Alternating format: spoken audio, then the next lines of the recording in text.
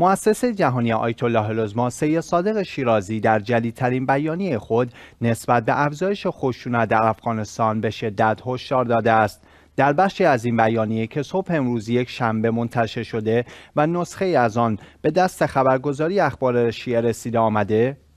ما در مؤسسه جهانی آیت الله العظما صادق شیرازی نسبت به افزایش خشونتها در افغانستان که موجب کشته شدن و زخمی شدن صدها انسان بیگناه می شود به شدت نگران هستیم. زیرا مسیری که در حال طی شدن است به سوی سراشیبی سقوط است. در این بیانیه که به مناسبت جنایت اخیر نیروهای طالبان در روستای سیوک شیبر صادر شده همچنین آمده متاسفانه افغانستان اخیرا شاهد افزایش خشونت ها علیه غیر نظامیان بوده که نتیجه آن کشته شدن و زخمی شدن دهها غیر نظامی بیگناه است.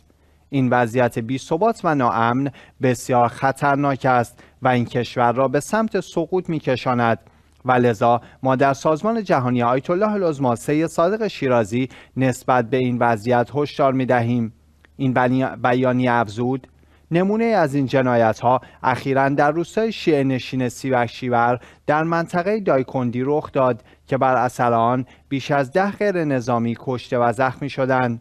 علاوه بر این جنایت ده ها, ده ها مورد حمله به مساجد و حسینیه های شیعیان توسط سنی های طالبان رخ داده است. این بیانیه همچنین نسبت به وضعیت زنان در افغانستان زیر سلطه طالبان انتقاد کرده و افزود. گزارش های مختلف بین در مورد پایمال شدن حقوق زنان و دختران در افغانستان منتشر کردند که در زمینه های مختلف از جمله تحصیل، کار در اماکن مختلف، حضور در برخی مراکز مانند مراکز تفریحی و غیره است. سازمان جهانی آیت الله العظما صادق شیرازی در این بیانیه همچنین نوشت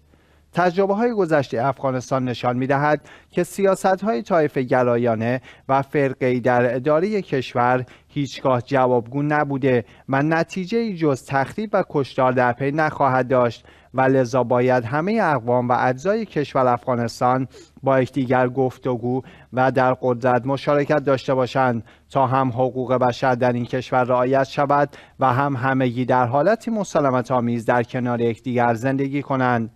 در پایان این بیانیه آمده مسئولیت وضعیت موجود در افغانستان بر عهده طالبان است و بر سازمان ها و نهادهای بین‌المللی واجب است که در قبال این وضعیت اعلام موضع کنند و هر اقدامی که لازم است را در دستور کار قرار دهند.